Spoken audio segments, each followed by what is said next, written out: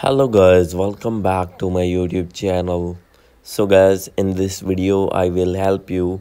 How can you fix? You don't have permission to add products in current region.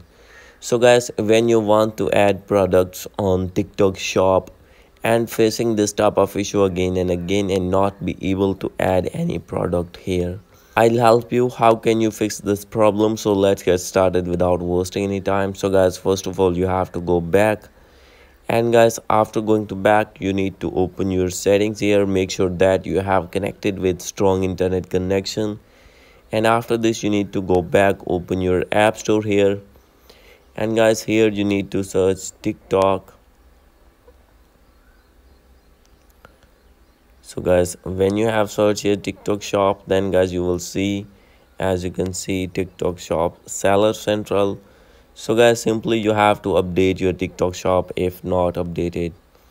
And guys after doing this uh you need to go back and guys now you need to open your settings here. Click on general and click on iphone storage. From here you have to offload your tiktok shop and you need to reinstall again and guys after this your problem will be fixed.